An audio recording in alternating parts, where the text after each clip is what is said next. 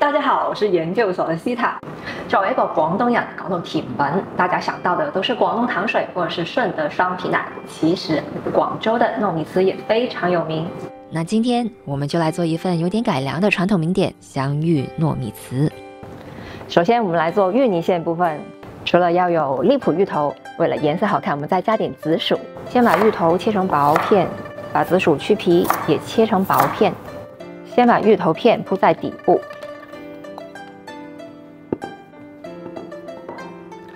再把紫薯片铺在上面，芋头跟紫薯的比例大概是六比一，放入锅里蒸十五分钟。等待的时间又怎么能白白浪费呢？这个时候我们肯定来做糯米面皮，把糯米粉、玉米淀粉、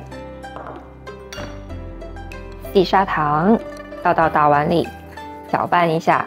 一边搅拌一边加入牛奶，搅拌到没有干粉粒就可以把玉米油加进去，一边加一边搅拌。灭火搅拌好了就可以放到一边备用。这个时候，我们的紫薯跟芋泥也蒸好了，筷子一搓就能散开的，就证明蒸好了。将蒸好的芋头跟紫薯倒到大碗里，让它们稍微晾凉，再戴上手套把它们抓成泥。不晾凉也可以，除非你有铁砂掌。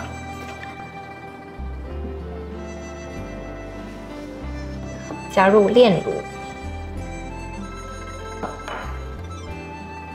牛奶，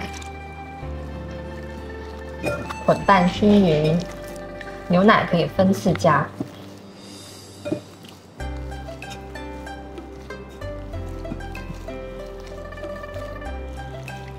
如果有搅拌机的小仙女，就可以把所有材料都丢进去，摁个按钮就轻松搞定。如果喜欢细腻的口感，可以过筛一下；如果喜欢有颗粒的口感，这样就可以了。芋泥馅做好了，现在我们来炒糯米皮。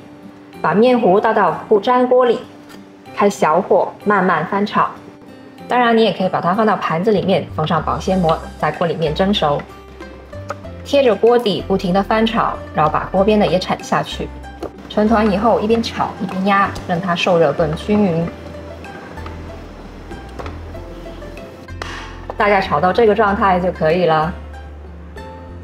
把它放到保鲜袋或者硅胶垫上，密封放凉备用。把它晾凉到不烫手的温度，就可以拿出来揉搓光滑。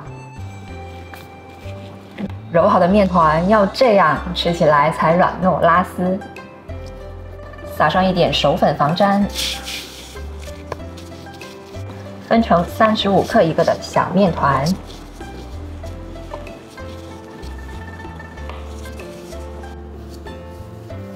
拿出一个小面团，撒上一些熟粉，放到案板上，轻轻压扁。把适量的芋泥馅放到饼皮中间，拿起来，像包包子一样，揪掉多余的面皮，撒一点点熟粉防粘。这时候糯米糍就做好了，还可以根据自己的喜好在表面加入不同的材料。比如滚上椰蓉，或者撒上紫薯粉。